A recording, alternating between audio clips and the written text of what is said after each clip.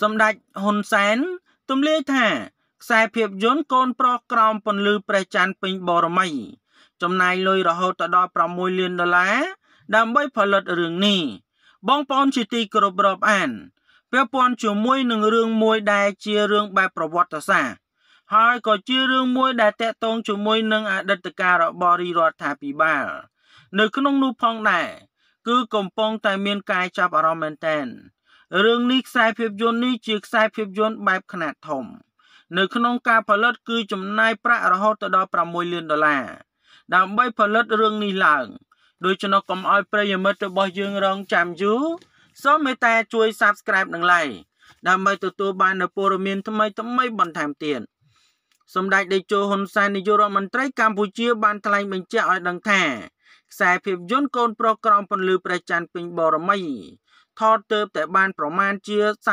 30%និងចំណាយប្រាក់អស់ប្រមាណជា2លាន5សែនដុល្លាររួចទៅហើយនឹងបានត្រៀមថវិកាចំនួន6លានដុល្លារដើម្បីថតរឿងនេះឲ្យចប់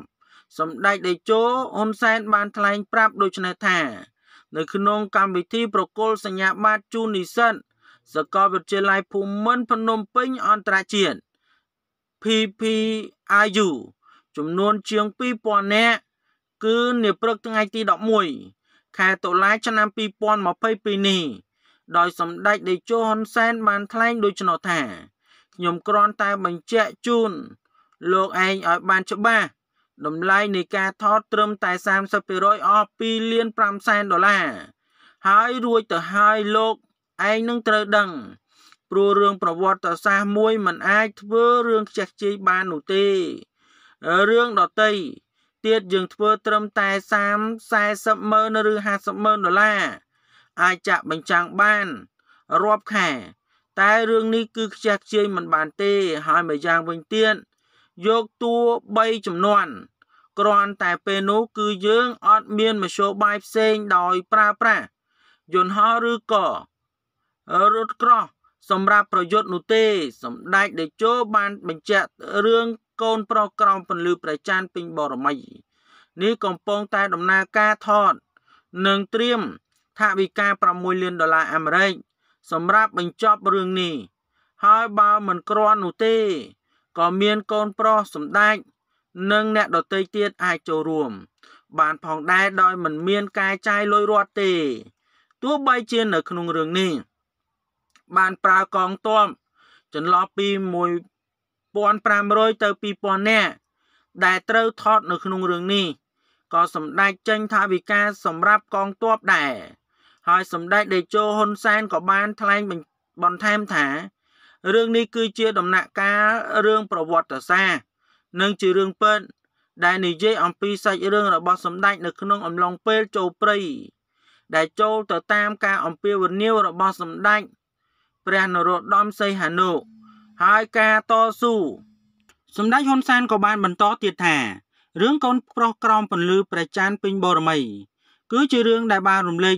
អំពីប្រវត្តិសាស្ត្រនិងមិនត្រឹមតែប៉ុណ្ណោះគឺជារឿងដែលបានរំលេចអំពីប្រវត្តិដ៏ជូរចត់និងមិនមែនគ្រាន់តែរំលេចតួអង្គរបស់សម្ដេចនោះទេប៉ុន្តែវាបានរំលេចនៅដំណើរជាតិតែម្ដង ដោយចាប់ផ្ដើមគេធ្វើរដ្ឋប្រហារទម្លាក់បកូណាសម្ដេចបានគូបញ្ជាក់ទៀតថារឿងនេះគឺអាចនឹងចាប់ផ្ដើមធ្វើការចាក់បញ្ចាំងនៅក្នុងពេលដែលចូលឆ្នាំក្រោយតែម្ដងសូមបញ្ជាក់ផងដែរថាតើតងជាមួយនឹងខ្សែភាពយន្តកូនប្រុសក្រោមពន្លឺព្រះច័ន្ទពេញបរមី កាលពីថ្ងៃទី8ខែកុម្ភៈឆ្នាំ2022ក្នុងឱកាសជួបសំណេះសំណាលនិងផ្ដល់អនុសាសន៍លើកទី2ទៅកាន់ឋានៈដឹកនាំ អ្នកដឹកនាំសម្ដែងនិងអ្នកសម្ដែងនិងក៏ដូចជាក្រុមការងារអ្នកផលិតទាំងអស់សម្ដេចតេជោហ៊ុនសែនបានធ្វើការក្រានរំលើកដល់គណៈកម្មការដឹកនាំអ្នកនិពន្ធរឿងនិងបច្ចេកទេសថតទាំងអស់ត្រូវខិតខំបន្តសិក្សាស្រាវជ្រាវឲ្យកាន់តែស៊ីជម្រៅថែមទៀតតេតិនជាមួយនឹងសាច់រឿងនិងទីតាំងប្រវត្តិសាស្ត្រនៃដំណើររឿងតួសម្ដែងនិងតួអង្គទាំងអស់នៅក្នុងភាពយន្តរឿង កូនប្រុសក្រោមពន្លឺព្រះច័ន្ទពេញបរមី ជារឿងភាគមួយតេតិនទៅនឹងដំណើរការជីវិតពិតរបស់សម្ដេចនិងសម្ដេចកទេព្រឹទ្ធបណ្ឌិតនៅក្នុងសម័យសង្គ្រាមលន់នល់រដ្ឋប្រហារទម្លាក់សម្ដេចព្រះនរោត្តមសីហនុព្រះបរមរតនកោដ្ឋនិង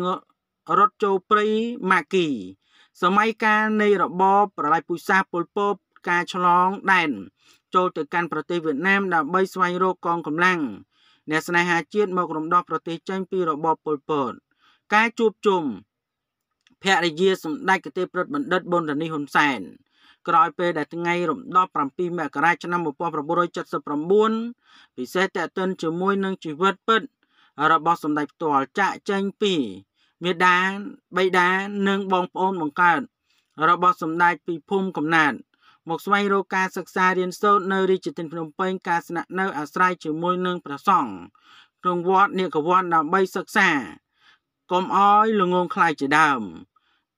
ដោយចំណព័ត៌មាននេះមានប៉ុណ្ណឹងដើម្បីទទួលបាននូវព័ត៌មានថ្មីថ្មីបន្ថែមទៀតសូមមេត្តាជួយ Subscribe និង Like ខ្ញុំបាទសូមអរគុណនិងសូមគោរពលា